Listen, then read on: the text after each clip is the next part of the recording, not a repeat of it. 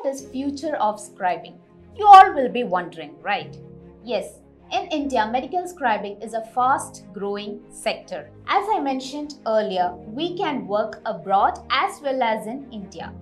In India, there are many companies who are offering medical scribing courses and jobs. So, the point is, we need to know a minimum basic knowledge of medical language and medical coding. And as you all know, we all prefer better people or better employees, right? Like, for example, doctors prefer better nurses or better scribes than a transcriptionist or a coder.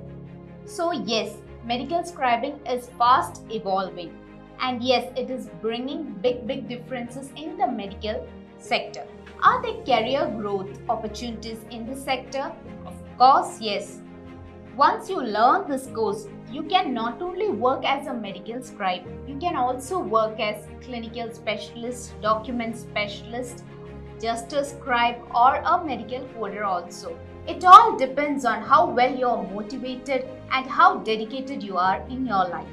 Can we work abroad with a medical scribe course?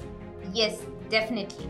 Abroad, there are many universities. I won't say universities, but yes, they are also providing medical scribing courses. But it will be better to get an experience in medical scribing and then move your way. It will be better to get an experience in medical scribing and then move to abroad. And yes, definitely I'll say there are much more better scribing opportunities abroad only.